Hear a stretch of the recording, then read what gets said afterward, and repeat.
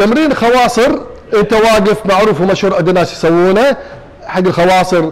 آه، ولكن هذا التمرين لو تلاحظ إن الحوض يتحرك معاك عظمة الحوض يتحرك معاك مع الفرة كل ما تفر أكثر كل ما يتحرك أكثر. فمو ذاك الفعال حق ال- ال- ال- الخواصر أكثر. لما أنت تكون قاعد الحوض ثابت الحوض ثابت ما يتحرك. أكثر على ال- ال- الخواصر. ولكن يعني مؤلم شوية حق فقرات الظهر مو مثل الواقف أو ركوعا. فوق بهذا الشكل الحوض يكون عندك ثابت كأنك أنت قاعد. فهذه ثلاث طرق حق الخواصر وايد ممتازة شوف اللي يناسبك أكثر والتركيز أكثر أيوه فيهم. ولكن تذكر إن هذا ابدا ما يحرق الدهون ما يصغرها ولكن إذا ما عندك دهون العضلات راح تكون مقسمه